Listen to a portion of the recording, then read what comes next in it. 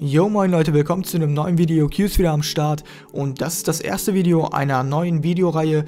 Und zwar werden wir in dieser Videoreihe darüber sprechen, wie man möglichst gut in Ranked Games gewinnen kann, wie man sich alleine hochcarryen kann, ja, wie man allgemein in League of Legends besser werden kann. Wir werden uns die verschiedenen Lanes angucken und so weiter.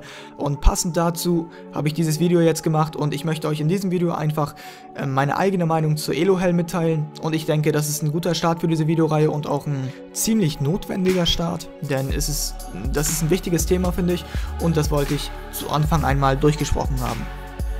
Für die Leute, die nicht wissen, was genau die Elo-Hell ist, das ist im Prinzip der Elo-Bereich, bei dem viele Spieler meinen, dass sie auf gar keinen Fall, egal wie gut sie sind, aus eigener Kraft sich da rauscarryen können, denn es gibt immer irgendjemanden, der feedet, es gibt immer jemanden, der AFK geht und im Prinzip steht einem immer das eigene Team im Weg. Und die Leute, die an ein solches Phänomen glauben, sind der Überzeugung, dass sich das im Bronze, im Silberbereich abspielt und manchmal auch noch im Goldbereich. Das Ganze wurde ja schon sehr oft in vielen Videos und auch in ganz vielen verschiedenen Foren besprochen und jedes Mal hieß es nein, es gibt keine Elo-Hell und das gängigste Argument dabei war immer, jedes Team hat im Prinzip 5 Spieler, also 5 potenzielle Feeder und AFKler im gegnerischen Team und nur 4 im eigenen, da man selber ja nicht AFK geht und da man selber ja auch gut spielt. Also ist theoretisch die Chance zu gewinnen höher als zu verlieren. Und ich werde in diesem Video auch nicht wirklich was anderes behaupten, denn das ist im Prinzip ein Fakt, den keiner kleinreden kann, wobei man hier einige Dinge klarstellen muss, finde ich. Ähm, da wir hier von Wahrscheinlichkeiten reden, geht es auch ein Stück weit ein bisschen um Glück. Und in der Biologie oder auch in der Mathematik zum Beispiel ist das ja so, dass je mehr Versuche man durchführt, um etwas zu, äh, um etwas zu beweisen oder etwas in die Richtung, dann braucht man mehrere Versuche, denn je mehr Versuche man durchführt, desto klarer und genauer wird auch das Endergebnis. Und genauso ist das meiner Meinung nach im Elo-System. Je mehr Spiele ihr habt, desto richtiger ist die Elo, in der ihr euch gerade befindet. Also vereinzelt kann das Glück am Anfang eine Rolle spielen, aber es gibt halt keine Chance, dass dadurch eure Elo auf lange Sicht positiv oder negativ irgendwie beeinflusst wird und man braucht so 200 bis 300 Games, denke ich, bis man so in eine Elo kommt, in die man wirklich reingehört. Diese Theorie, dass Glück euch negativ oder auch Pech euch negativ oder positiv am Anfang ein bisschen beeinflussen könnten, trifft aber natürlich nur zu, wenn Mitspieler und Gegner in demselben Game ungefähr das gleiche Skill-Level besitzen. Ein Diamond Smurf zum Beispiel, dem dürfte es ziemlich egal sein, ob er gerade Pech hatte und seine Mitspieler gerade nicht so gut sind in der Runde, denn er sollte im Prinzip alleine in der Lage sein, die vier Mitspieler, die er in seinem Team hat, zu carryen, wenn man ihn in eine Silber- oder Bronze-Elo packt zum Beispiel. Denn das Skill-Level, das dieser Spieler hat, und der momentane Skillbereich, in dem er sich gerade befindet, sind einfach so weit auseinander, dass er so eine überragende Leistung bringen müsste. Dadurch werden halt diese schlechten Spiele ausgeglichen durch diese überragende Leistung, die er bringt. Und er muss das einfach schaffen. Ganz einfach, weil, weil, diese, weil das so zwei verschiedene Dimensionen sind, versteht ihr? Das ist einfach so weit auseinander. Er muss das hinkriegen. Ein Silberspieler hingegen, wenn er eigentlich in eine Gold-Elo zum Beispiel gehört und er ist gerade Silber 1 und gehört in Gold 5 oder Gold 4 sagen wir mal, dieser jemand bräuchte viel, viel mehr Zeit, sich alleine hochzucarryen, da er zwar immer so ein bisschen besser spielt als die Leute um ihn herum, aber das reicht halt nicht aus, um das Spiel im Alleingang zu gewinnen. Also er schafft es einfach nicht, vier Leute zu tragen, obwohl er immer ein bisschen besser spielt als alle anderen.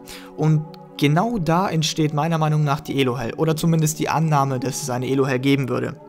Also kann diese sogenannte Elohell in jedem Elo-Bereich vorkommen, meiner Meinung nach, und ist im Prinzip nur eine Bezeichnung für die kleine Zeitspanne, in der ihr besser seid als der Durchschnitt, aber noch nicht gut genug, um aufzusteigen. Und ich kann euch versichern, dass es in jedem Elo-Bereich, wirklich in jedem Elo-Bereich, Leute geben wird, die AFK gehen, Leute geben wird, die feeden werden und auch Leute geben wird, die die ganze Zeit am Flame sind und nicht richtig spielen. Das wird es immer geben, egal wo ihr euch befindet. Challenger weiß ich nicht, da wahrscheinlich nicht, aber das gibt's in Diamond, das gibt's in Platin, das gibt's in Gold, das gibt's in Silber, das gibt's in Bronze. Hundertprozentig gibt es das überall. Ich finde, das ist einfach, ja, das ist einfach so, wie die Leute sind so. Das ist einfach so die Anonymität des Internets bringt das einfach mit sich. Und das gibt es in jedem Spiel, nicht nur in League of Legends, das gibt es überall und das wird es auch in jedem Elo-Bereich geben. Und dass es solche Leute nur in der Elo-Hell gibt, ist einfach eine falsche Annahme. Und das dachte ich früher auch. Heutzutage sehe ich es ja selber, ist es einfach nicht so. Solche Leute gibt es überall, da kann man auch nichts gegen machen.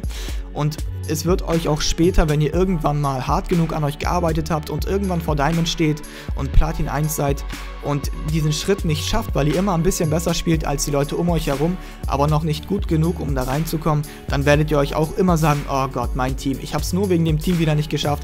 Ich stand zum Beispiel, keine Ahnung, 8-3, hatte mehr Farm als der gegnerische Midlaner, Jungler, was auch immer, aber ich habe es trotzdem nicht geschafft, alleine zu carryen. Das wird euch passieren. Und Normalerweise würde da ein Bronze- oder Silberspieler jetzt sagen, natürlich nicht alle, aber einige, dass es aufgrund der Elo-Hell nicht möglich ist. Aber das ist es einfach nicht. Das ist einfach diese kurze Zeitspanne, die ich euch eben gerade erklärt habe.